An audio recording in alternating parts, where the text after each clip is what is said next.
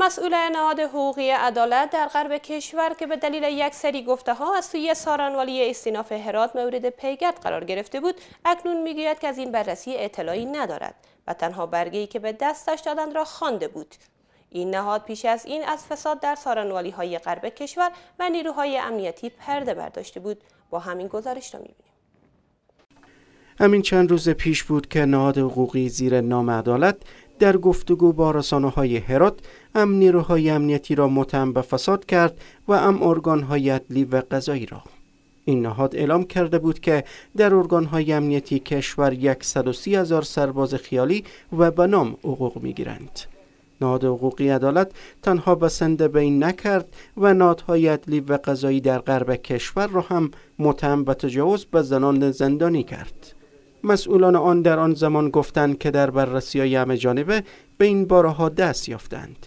ولی اکنون یکی از مسئولان این نهاد که از چند روز به این سو زیر پیگرد سارنوالی استیناف هرات قرار گرفته می‌گوید که او تنها چیزهایی که به او داده بودند از روی برگه خوانده است. از موضوع آگاهی نداشتم چون ما ساعت امروز که نشست خبری بود ساعت دو پانزه ما از بیرون دفتر رفتم که آمادگی داشتن گفتن که رسانه ها می‌رسن میآید. ما نشست خبری داریم.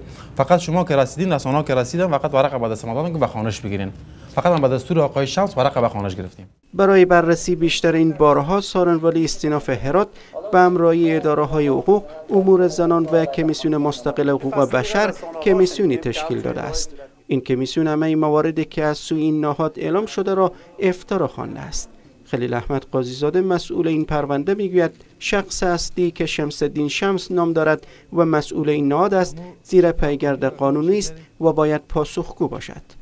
او گفت حتی در این زمینه بانوان زندانی هم اعاده حیثیت کردند. نتایج تحقیقاتی هم که به دست مانه تا حال هیچ نوع اسناد و مدارکی از طرف آقای شمس و همچنین از طرف آقای احمد تبریز به سارنولی رای نشده که ادعای از اینا ثابت کنه.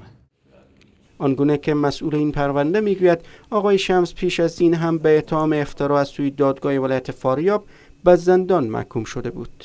پیش از این شمس الدین شمس مسئول نهاد حقوقی عدالت در گفتگو با رسانه ها گفته بود که آذر به پاسخگویی و ارائه سند در زمینه بررسی های نهادش است و به همین منظور به هرات خواهد آمد.